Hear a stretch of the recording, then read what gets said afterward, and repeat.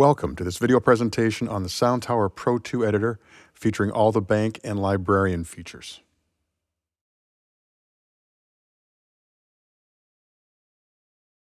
To access the banks and librarian features, push the banks button right here.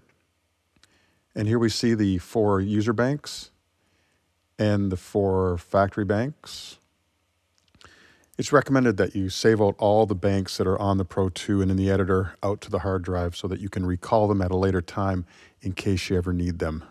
And uh, so to do that, you would go to File, Save Program Bank, and here we can save any of the four user banks. So we'll click User Bank 1. It'll open up this directory and it's all set up and ready to name, so we just click OK. We can save that. And let's also save user bank 2. And we won't do them all for now. So now we have the first two user banks saved. The factory ones we will save at a later point. Once those are all saved out, this page is a great place to audition sounds. You can just uh, click on the names and uh, play a few notes and find the sound you're might be looking for. This is just a great place that you can go through the sounds and, and find what you might be looking for. Now, a couple things here. If you do any editing on the Pro 2 itself and, uh, and not through the editor, the sounds that are shown on the editor may not be in sync with the ones that are on the Pro 2. So to make sure that the synth and the editor are locked up together, you would go to MIDI, go to Receive Bank, and we'll bring over User Bank 1. So this will bring the sounds that are in the Pro 2 over to the editor. So we'll just click Start.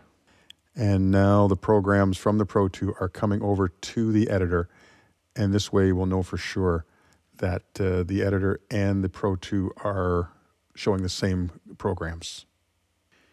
In a previous video, when we were working on making changes, uh, let's say to the oscillator, we discussed the principle of those edits being made only to a buffer memory and not actually being saved to a program location in the Pro 2, unless we clicked Write Program. However, in the library and bank features on the editor, many of the things that we can do here are saved immediately to the Pro 2 and overwrite what is there. So if uh, there's a number of right-click features on these program names, uh, copy, paste, rename, uh, save a program, load a program from disk, and initialize a sound. If I perhaps uh, rename this sound uh, to Squarebase, just call it Squarebase 2, I could change the category. We'll talk about categories in a minute. And save that. Now that has now changed that sound uh, the name and it has changed it on the Pro 2 as well. So that will be permanent on the Pro 2 at this point. Uh, we can copy and paste sounds. Let's go back to factory one and we'll just copy square bass and we'll bring it back over here and paste it. Now the name's back to where it was. So you can copy, paste, copy and paste sounds through here. Uh, certainly there is a feature provided uh, that you can, these little red numbers indicate that this is a sequence, a 32 step sequence. The A is for a, a program that has an arpeggiator set up. You can copy and paste uh, just the arpeggiator and, and the sequence sections of those programs and copy them and paste them over top of uh, other sounds. So that's another feature that uh, that you can do with copy and paste in the in the librarian. So that shows us all the features in the uh, user and factory banks. And the next thing I'd like to get to is uh, categories. Category is a very powerful section. And as you can see here, it just shows a, uh, a single bank. And we can pick any of the user or factory banks. It has all the, uh, the right-click features that we've seen before. Uh, one that we missed was uh, initialize. And what that does is uh, sets the sound to a very simple uh, two oscillator sound that I'll just show you here. It's just a great place to start to start building your own sound. Uh, but what is what's great here is a really powerful search tool.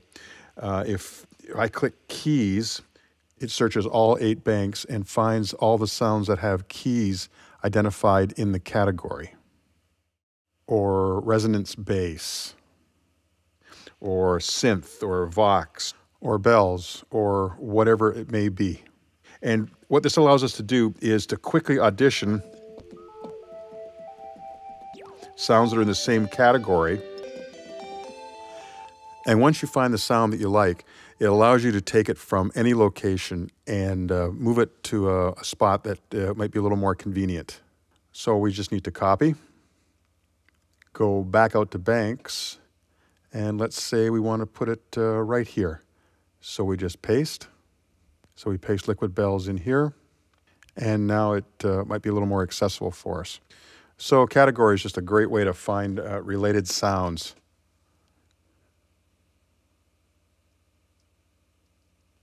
Next, we'll look at the librarian.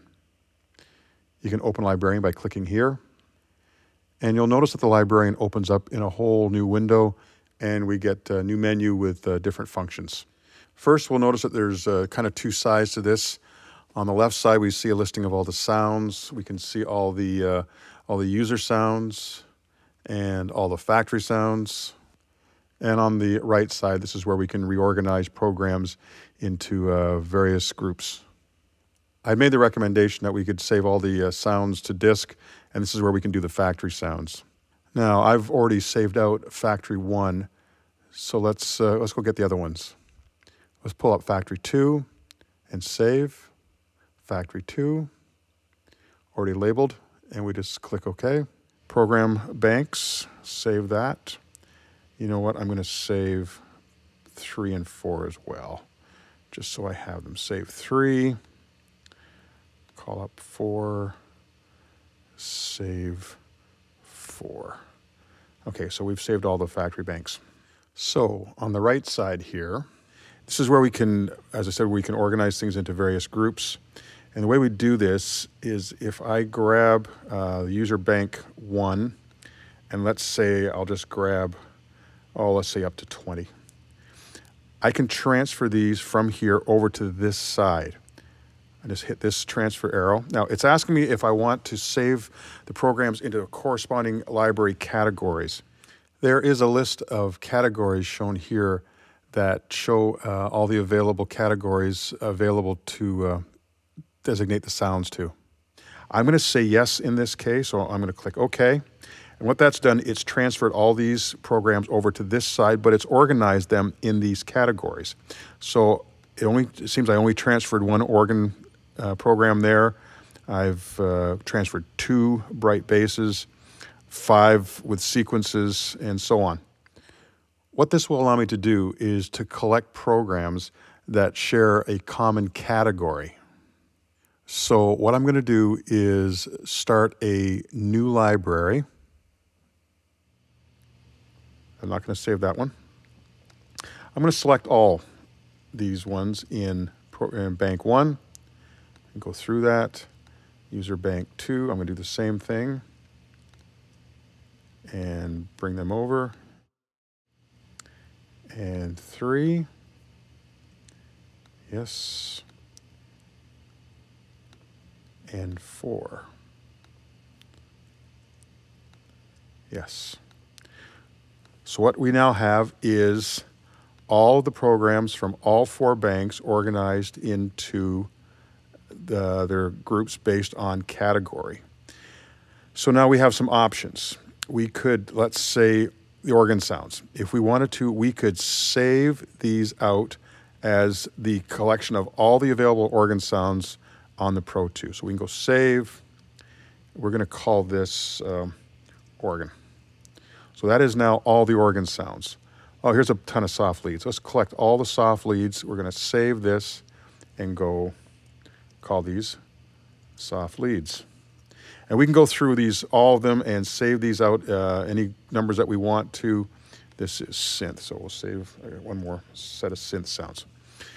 This is very useful if we want to just have all the sounds that are currently on the on the Pro 2 saved out uh, in this in this fashion. Now, what I what I can do is I can take I have the currently all the synth sounds up. I'm going to collect highlight all these, and I'm going to pop them back over into user bank four, no, user bank one. And I'm going to have them start right at the top of the list. And I'm going to transfer those over. It says, do you want to, it's asking if I want to replace patches 1 through 46 in this bank. And I'm going to go, okay. And that has transferred them all over. Over into this bank here. And when I come over to user banks, there they are. There's all the synth sounds that have now transferred into um, into the into the user bank. And so this way, again, you can you can do this and collect all kinds of different combinations of of uh, programs so that you can call them up quickly. The other way to transfer from the left hand side to the right hand side is let's start with let's start go back to user bank here. I'm going to create a new library. It's going to ask me if I want to save this existing one. We've already saved it, so I'm going to go no. Now, what this is going to do is if I collect these, say again the first 20, and you notice that I have library highlighted here. You can highlight any one of these. I'm going to hide library not assigned. If I transfer these here and I don't send them to the corresponding libraries, it still brings them over. But what this has now done, this has now stripped the category uh, name and has assigned them and has assigned them to, the, in this case, library not assigned. If I was to grab another collection, it doesn't matter where, grab another collection here, and let's say I highlight keys and transfer, go no. These are now all named with the key category. Now, if you're just transferring all the, all the factory or the uh, the original user banks, it doesn't make a whole lot of sense to strip the categories off of this. But if you are working on a collection of your own sounds, and let's say you're working on a whole bunch of bass sounds, and have saved them out into the various program slots in the Pro 2 and on the editor. If you wanted to bring them over here and instantly just put a, uh, let's say, a soft bass category on all those patches, this is a place where you could do that so that they all get named properly. And then you could save them out as, uh, as that group. Uh, there is all the right click options here, uh, similar to uh, the regular bank uh, right click options. You'll notice that there on the left and right hand side, there is load and save features on both sides to save the banks, um, uh, receive and transmit uh, back and forth between the editor and the Pro 2. On this, uh, there's an edit feature here as well. If I hit uh, a patch here and go to edit, that will take me right back here. If I want to uh, want to do some editing on it, I can call up the editor and, and do some additional work if I want to. Librarian. And it has an import feature here. I'm going to dump this program here. No, if I import, it will take me out to this uh, this uh, library which we have, this directory which we have, and I can load banks from here. So if I could, you know, I've already saved out user bank one. I'm going to open that, and I'm going to go no. So there we go. So now that's loaded the, the entire bank in one go. So that's about it for banks and category and librarian.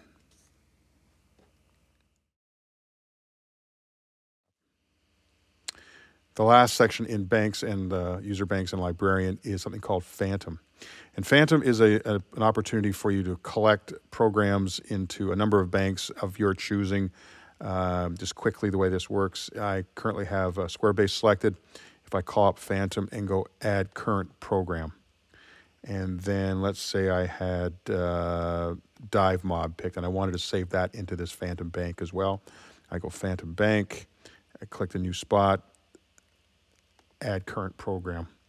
Uh, I can go through this, I can save a whole bunch of these up, and then once I have a, a, a group that I want to call a bank, I can go up to this menu and save as, I can save this as a Phantom Bank, so I'm just going to call it P Bank.